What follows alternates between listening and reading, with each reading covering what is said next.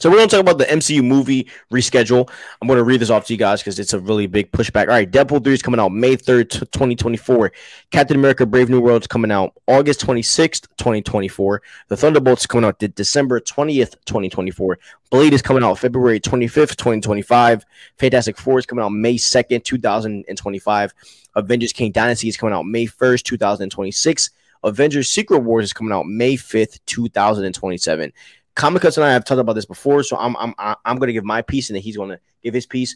We have communicated that pushing everything back is totally fine. In in my opinion, if you want to give us the best content, push it back as far as you can. I am willing to wait as long as we get consistent projects. Um, I know that next year we're not going to be getting that many Marvel projects. They're even not going to show up at Comic Con this year which as I said, I'm totally fine with because you know, last year they came up, promised us a lot. Obviously, you know, with the with the WGA going on, the the, the Friday strike, which is halting a lot of projects. Blades got halted, Daredevil's got got gotten halted, Spider Man has been halted, so many other projects. I also think this is a good thing for Kevin Feige because now he can.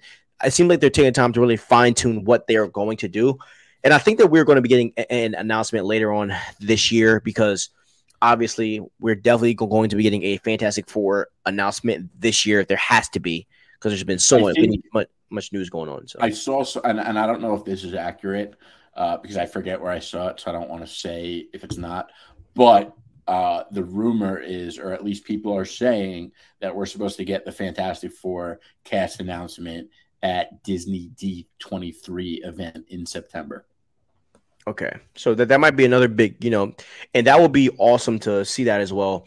But I, but you know, I know it sucks right now, guys, but you gotta understand the MCU. Like when you're when you're when you're thinking about this from from a business standpoint, they just had their worst season of all time. Like, and even though their movies made profit, still the fans hate it, and so you know they they have to go back and they have to figure out things as well.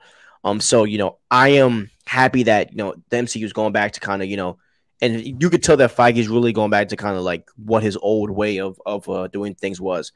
Um, but I do believe that if this doesn't work right, you got to bring back Downey. You pay them whatever they whatever yeah. they need, and you make it happen. If you got to buy him a freaking toupee because he's bald, and, and get yo get Robert Downey back to eating meat because his vegan diet has him looking like he's seventy. Get him yeah. back to eating meat again. Put him on a carnivore diet. Bring back Chris Evans. Chris Evans looks great. Pay ScarJo her, her money. Get them all back. So I also think that the the writers' strike is really going to hurt them because we are already seeing delays um, happening.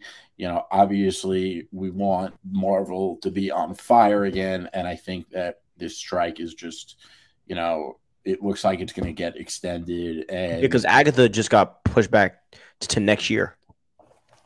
They should get rid of that one altogether. Yeah. so, yeah, I think Loki's going to be a banger. Um, so I'm happy about that. So yeah, man, th- th- there's some things to look forward to. Um, but yeah, man, we are. I'm so ready for what we're going to see though in the uh in the uh, future.